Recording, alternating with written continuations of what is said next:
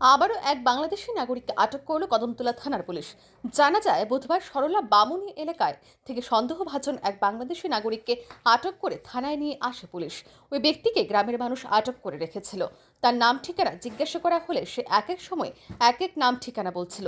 পুলিশের জিজ্ঞাসাবাদে ধৃত জানায় যে তার নাম মোহাম্মদ বদরুল হোসেন, পিতা মোহাম্মদ আফতাব আলী। সে বাংলাদেশ থেকে এসেছে। তার বাড়ি ঢাকা জেলার বাইটেঙ্গা গ্রামে।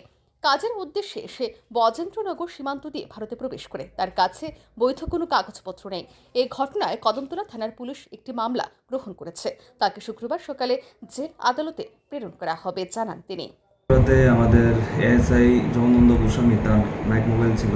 তো সে যখন তার স্টাফ নিয়ে সরলা বামুনিয়া এরিয়ার মধ্যে নাইট মোবাইল করছিল, তখন দেখতে পায় যে কিছু লোক, একজন লোককে ডিটেন করে রেখেছিল। সে সাসপিসিয়াসলি সেখানে ঘোরাফেরা করছিল মানুষের সন্দেহ হয় তখন তাদেরকে ডিটেন করে রাখি তাকে।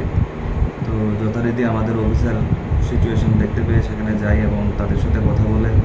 তো ওই লোকটাকেও জিজ্ঞাসা করে যে তোমার নাম কি? সে এক এক সময় এক এক নাম বলতে, বলছিল এবং তার বাড়ি এক এক সময় এক এক কথা বলছিল। তখন মানুষ তার উপর বিশেষ করে খেপে গিয়েছিল।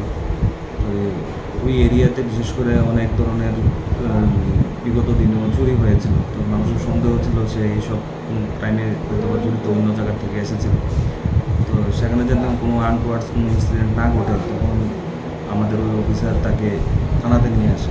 এবং সে জানায় যে তার নাম মোহাম্মদ বদরুল হোসেন এবং বাবার নাম লেট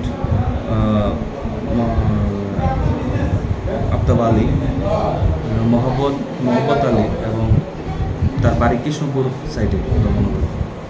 পরবর্তী সময়ে আরও জিজ্ঞাসাবাদ করা হয় এবং সে তখন স্বীকার করে যে সে বাংলাদেশের ঢাকা বাইটেঙ্গা বাইটেঙ্গা থানা ড্যামরা ডিস্ট্রিক্ট ঢাকা। সে একজন বাংলাদেশি ন্যাশনাল এবং কাজের উদ্দেশ্যে সে বজননগর সাইডের যে বিএপিএ আছে, সেই বর্ডার এরিয়া দিয়ে আমাদের ইন্ডিয়াতে প্রবেশ করেছে এবং রিপোর্ট আর এ নিউজ।